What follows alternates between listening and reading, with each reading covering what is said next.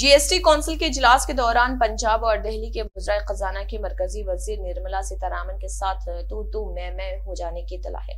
Report के मुताबिक इजलास के दौरान पंजाब के वज़ीर खजाना हरपाल सिंह, चैमा और दिल्ली के वज़ीर खजाना आतिशी मारलीना की निर्मला सीतारामन से झड़प हुई।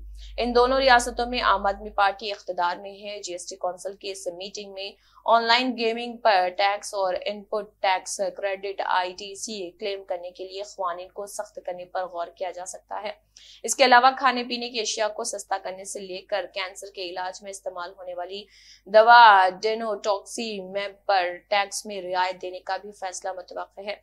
दूसरी जानब दिल्ली में सरकारी अफसरान की पोस्टिंग और ट्रांसफ़र को लेकर मरकज और आम आदमी पार्टी हुकूमत के दरमियान तनाज़ा चल रहा है। इस मामले में दिल्ली हुकूमत ने सुप्रीम कोर्ट में अर्जी दाखिल करके मरकज के ऑर्डिनेंस को चैलेंज किया है, जिस पर समात जारी है।